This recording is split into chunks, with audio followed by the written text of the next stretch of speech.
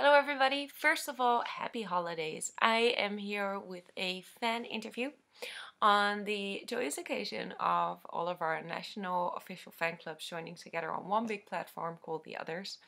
Uh, very exciting, all happened last year, and we thought we'd uh, start this uh, new cooperation with a big international fan interview where every country had to hand in one question. So I've got the questions in front of me right now and I won't, um, without further ado, here is the very first question, which is a question from the Czech Republic. Uh, they like to congratulate us to our big anniversary and ask about the guest at our anniversary show in Paradiso. Well, since these questions were penned down a little while ago, um, in the meantime, we've already performed the gig, and people who were there know that we've had plenty of guests. Um, we had uh, Alissa White-Gluz there, Burton C. Bell, Liv Kristine, George Oosthoek, but we also had some former band members. We had Rob van der Loo joining on stage. We had Sander Zoer. And we also had Guus Eikens with us, who's been involved in writing all of the songs from the very beginning. Uh, next to that, we also had Elianne playing some beautiful cello, So we had a stage full of wonderful guests, and I cannot wait until we can show it all to you on the DVD that will come out later this year. So um, that's for the Czech Republic. We continue with Italy, and they ask in the 10 years of Delain, thinking about our career, what are the most amazing memories that we have?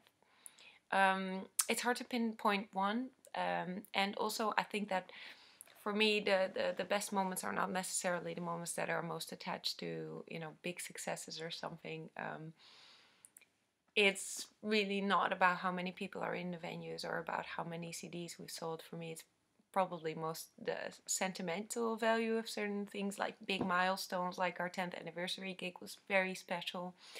Um, also uh, you know getting to play certain stages that I used to go to as a kid to wa- uh, to watch certain shows hoping that I'd be up there one day and then making it um, those are always pretty magic moments and uh, yeah makes me um, feel like going back to my my 15 year old self and telling her hey you know you did it Um, so yeah, my moments are most about the, the, the sentimental value behind it. Um, and yeah, I think that the 10th anniversary is the most recent one. Um, France asked, do you have any specific preparations for the tour, like packing in stuff in a certain way or essential things you need to bring on tour? Um, for me, I guess it's mostly about making sure that I am uh, physically very prepared. Uh, so I on the contrary of what I'm doing right now in the holidays, I am uh, working out a lot every day and I uh, eat very healthy. I drink loads of water, get plenty of sleep. It's all very, very boring, but also very necessary in order to um, be fit for the tour so that we can handle, you know, whatever fatigue or stress we run into. Uh, which hooks very nicely into Mexico's question. They ask, How do you deal uh, tour after tour with fatigue and stress and pressure? Um, yeah, for me, I mean, the, the, the best way to be kind of mentally prepared for that is to be, oh, there we go, is to be physically prepared. So, um, uh, pretty much the same thing as the previous question. And adding to that, I think that it's very important to kind of settle for the fact that some things will not go as you plan them, settle for the fact that unexpected things might happen. Um, I never really sleep when the bus is driving, and I used to get very stressed about that because I thought if I don't get enough sleep, I will not be able to perform right. And um, at one point, you know, the stress about the sleep ruined more than the lack of sleep itself. So I just settled for, you know, the fact that I probably won't sleep a lot on tour, and I bring a lot of books with me, and just uh, the going with the flow and accepting that things happen the way they happen that actually helps uh, helps a lot for me. Um, Spain says one thing fans value the most besides the music, of course, is closeness to the band, and we know that so from the beginning. Do you think you can keep this closeness with your constantly increasing fame?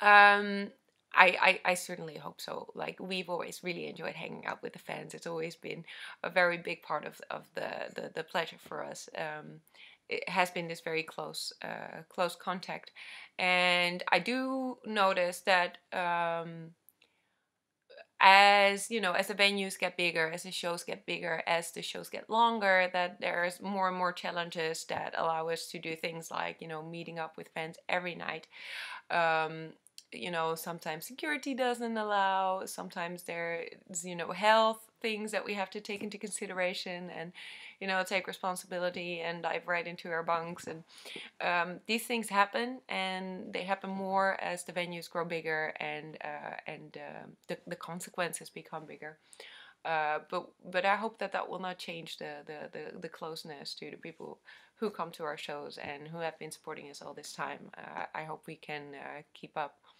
um, yeah, doing the things we always did because we genuinely really enjoy them. Then we have a question from Portugal who say, have you ever experienced a really creepy and or awkward fan situation, one that make you rethink your closeness to the fans? Uh, certainly, we've had situations where um, people did not really grasp the concept of personal space or privacy. Um, but it would be unfair to judge your entire uh, following, you know, all, all of the people who support you just for the misbehavior of a handful of people. So um, that would not make me reconsider uh, the closeness to fans. And um, I also think that, you know, keeping a good privacy and stuff from the beginning kind of prevents that at one point you have to take drastic measures to change things and fortunately we've always uh, we've always done that so then we have the USA, and they say for the first headline tour in the USA, will members of the band still come out to greet fans at the merch counter? As I said earlier, we always really enjoy meeting fans uh, after the gigs, um, and uh, that's also one of the reasons that we always make sure that our VIP sessions are more of an experience than just uh, a meet and greet. So I'm certainly hoping that whenever security and times allow, we can uh, come and say, say hi. Uh, we have a question from the Benelux. Curious to hear what the most memorable gift is that you received from fans during time with Delain. Um, for me, I'm always very impressed when there's gigs where you can see that someone put in a lot of um, you know, uh, personal care and effort, and uh, certain gifts from actually the the fan clubs come to mind, uh, where a lot of people work together to make something really personal and memorable, and that always warms my heart. Um, so that's that's absolutely wonderful. You know, the biggest gift is that people come to the show, as corny and cliche that might sound, um, but it's true. Um, Japan says we uh, all know the energy that the moon has on the earth and in us. Do you think this album in particular could bring different expectations and reactions in people when listening to the details of the songs? Um, I do think that Moonbathers is kind of special in a way that the songs are very varied. So um, when it comes to the reactions and emotional responses, I think that uh, as there are so many different themes and moods in the music, I hope that it can take people through a, a very wide range of emotions throughout the album. Um, it would be wonderful if it did that. Uh, so yeah, I can only hope so. Um, then we have Hungary, and they ask, why does the monarch have two verses in the booklet while only the first one sung in the song? Um, the, the lyrics on the monarchs were originally uh, a poem, and it consisted out of those two verses and it was a part B to the words of uh, Chrysalis, Last Breath, which is also on the album Moonbathers. Um, even though we only chose to use the first verse uh, for the actual song because it just worked better with the music, I felt like in order to make uh, the story lyrically complete, it would be very nice to incorporate the, the second verse of the poem as well. And I no, that's kind of unorthodox to print something in the lyrics when it's not being sung, but I uh, felt like, hey, creative freedom, and included the second verse anyway, just because I really like the idea of it being there, of it being somewhere, and uh, of having that kind of closure to the two songs lyrically. So um, I, I, realized that a lot of people noticed, uh, but it's not that something is missing missing on the album. It's there's just something extra um, in the lyrics.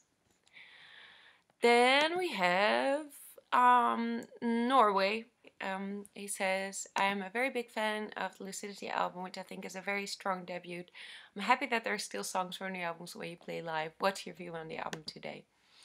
Um, I'm still very happy when I listen to the album. Uh, I there is some parts about it which, of course, feel um, different today than they felt back then. Like there, there's there's a lot of lyrics uh, that 17 year old me wrote that 29 uh, year old me would not necessarily write. And of course, my my voice has changed a lot, so I actually feel like it's another person on that album. But um, I get great feelings of nostalgia and, and, and sentiment whenever I uh, listen to the album or when we play the song live. And also, I notice that when we play them live, they kind of develop with you because you get to interpret them every time that you play them live. Um, I um, I really liked the album. It was the beginning of everything, you know. It was where we decided to make this a long term thing. It was uh, the beginning of my co- uh, cooperation with Martijn, and um, it was just a very lovely time. It was a very exciting time, and uh, I really like looking back on on that particular era, which is also why I'm very excited about the re-release that we've done of the album just a few months ago. Um, yeah, it's uh, all, all all great memories. Then there is United Kingdom. They say if there was a track you could re-record from every album having the band you have now, what would they be?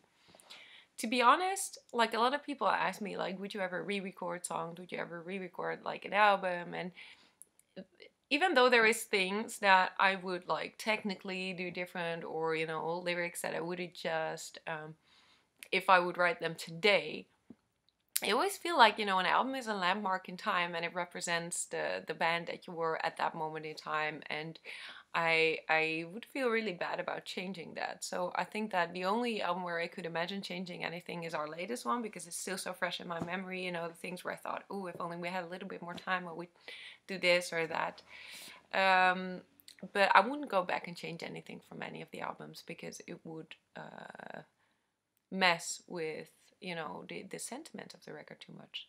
Sentiment is a word I use a lot but I think that I can because of the 10 year anniversary and stuff, you know. Um, then we have a question from Poland. They ask, What's your favorite guilty pleasure song? And I think that it's probably I Will Always Love You by Dolly Parton. Uh, very sentimental too. Romania asks, What's the biggest perk of being a musician? And I think that uh, the, the biggest perk is definitely taking something that you know, I really love to do and always love to do, and and making it a job is something that I feel very very privileged for, and I hope I can remain doing forever. Um, Germany says, uh, "What time would you like to live if you could travel through time?" Is the final question, and my final answer to that is if I could travel to any place and time uh, in history, I would probably go to Woodstock because I always loved watching the the the um, uh, video footage of it, and uh, I I really love the music. And um, as a kid, uh, watching it, listening to it, I always felt like I was born in the wrong decade. So um, I would love to go back to that and experience that. So that was the interview. I hope uh, you enjoyed um, everyone's questions, and um, I hope that we get to do uh, many more of these and have a wonderful platform with the others. Uh, thank you all very much for watching this. I know it's a very long, uh, long time of hearing me talk. I'm sorry for that. Um, I hope to see you all very soon again. Happy holidays, happy new year, and uh, all the best to all of you. Bye bye.